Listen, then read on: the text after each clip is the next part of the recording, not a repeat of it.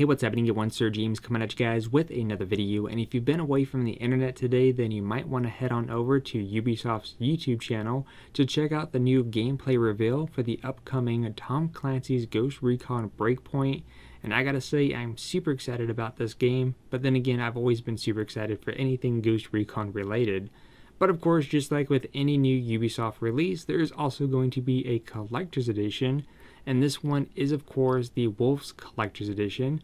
This is going to be a Ubisoft Store exclusive for the retail price tag of $190. Now, what exactly do you get? Well, you get the following items. You will be getting the pre-order offer, which is going to be the same for most retail stores, and that is the beta access and the Sentinel Corp pack.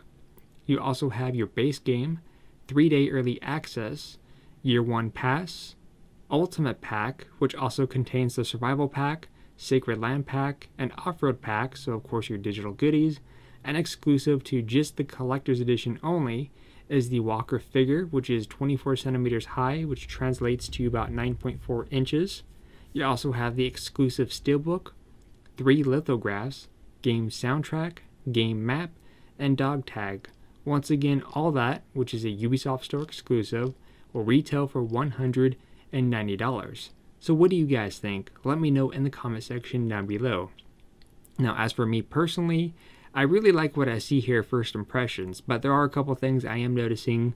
Uh, for one, based on what I'm about to say, I feel like the price point should be a little bit less due to the fact that according to the soundtrack, it's a selected game soundtrack, meaning that you're only going to have so many samples and it's not going to be the full thing, so that's a little bit of a disappointment. As for the dog tags, I doubt those are going to be heavily made because those are identical to some dog tags I've seen in old collector's editions, so I feel like those are also going to be cheaply made, but who knows? I mean, by the time it comes out, it could be more of a legit style. We'll just have to kind of wait and see.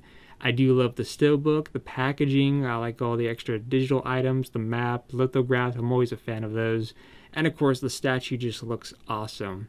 But like I said, I feel like the price point is just a little bit too high. But again, let me know what you guys think in the comment section down below. I'm just sharing my opinions and you guys also have yours. Until then, I am Sir James from GamerFuzion.com. And yes, you can pre-order this game starting today for the PC, PlayStation 4, and Xbox One. Until then, I'll see you guys on the next video.